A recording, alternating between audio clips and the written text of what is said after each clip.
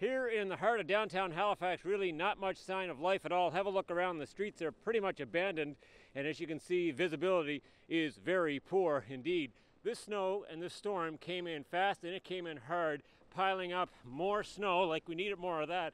Have a look at this. It's almost impossible to get around this part of the town and indeed a good part of the city. As you can see, businesses pretty much right across the area, indeed the province, are closed for the day. Bus service is not running. The airport has been shut down. Who knows when the flights are going to get back on schedule. Badly delayed today, indeed. And it's that blowing snow that you can see that's really causing the problems. It's telling, having the police tell people to get off the streets and the roads and stay off them. There was a plea by the city last night for people to stay home today. People seem to be largely honoring that. Uh, the people who need to be out today working, about the only people you see here, and very few of them here.